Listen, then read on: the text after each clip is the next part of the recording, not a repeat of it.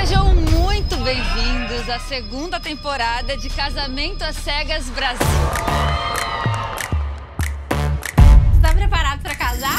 Tô me sentindo trouxa. Nenhum dos caras laterais tá esperando encontrar uma mulher gorda. Meu coração quer você. Vocês vão ter encontros com várias pessoas. Quem se sentir correspondido pode ouvir o famoso pedido. Vamos casar! Casar, cuzão!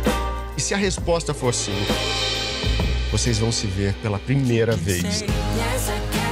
Depois vocês vão partir para uma lua de mel. Em um hotel espetacular no meio da nossa floresta amazônica.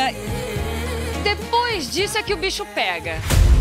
Vocês voltam para São Paulo e aí vocês vão morar juntos. É quando a vida real vai bater na porta.